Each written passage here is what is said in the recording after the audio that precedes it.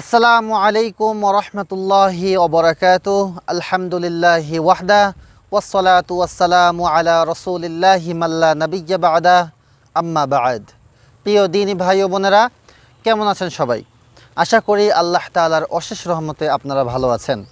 প্রিয় দিনী ভাই ও বোনেরা, অনেকেই আমাকে প্রশ্ন করেছেন যে, হুজুর, নামাজের পরে কোন মোনাজাতটা করব।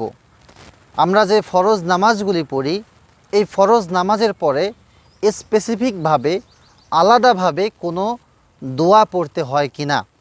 প্রিয় বন্ধুগণ, দোয়া সম্পর্কিত অনেক হাদিস রয়েছে।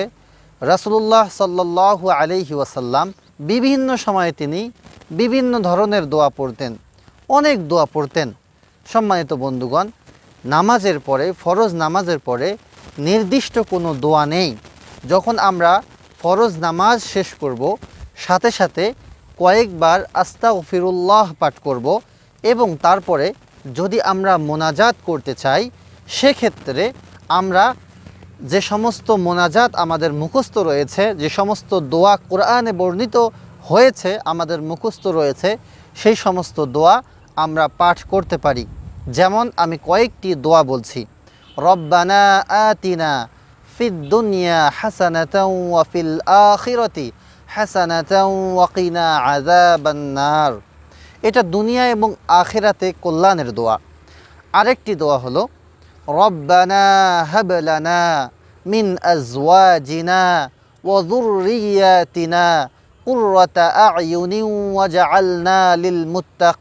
ইমামা। এটা হচ্ছে নিজের স্ত্রী সন্তান এবং নিজের জন্য দোয়া। আরেকটি দোয়া হচ্ছে আল্লাহুম্মা ইন্নি আসআলুকা রিদাকাল জান্নাতুল ফিরদাউস। এটা হচ্ছে জান্নাতুল ফিরদাউস পাওয়ার দোয়া। তো সম্মানিত বন্ধুগণ, আমরা সাধারণত এই দোয়াগুলো নামাজের পর মোনাজাতে পড়তে পারি।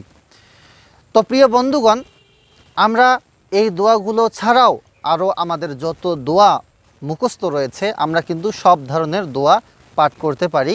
ফরজ নামাজের পরে নির্দিষ্ট কোনো দোয়া নেই। তো যাদের মনে এই প্রশ্নটি রয়েছে যে ফরজ নামাজের পরে কোন দোয়া পাঠ করব, আমি আশা করি আপনারা আপনাদের মনের প্রশ্নের উত্তরটা জানতে পেরেছেন এবং আমি আশা করি যে এই ভিডিওর মাধ্যমে আমি আপনাদেরকে বোঝাতে সক্ষম হয়েছি যে নামাজের পরে আপনারা কি কি দোয়া পাঠ করবেন। আল্লাহ পাক রব্বুল আলমিন আমাদের সকলকেই সঠিকভাবে নামাজ এবং দোয়া দোয়া নামক ইবাদত করার তৌফিক দান করুন। আল্লাহুম্মা আমিন ওয়াখিরুদ্দাওয়ানা আনিল হামদুলিল্লাহ রব্বিল আলমিন ওয়াসালামু আলাইকুম রহমতুল্লাহি ওবরাকাতুহ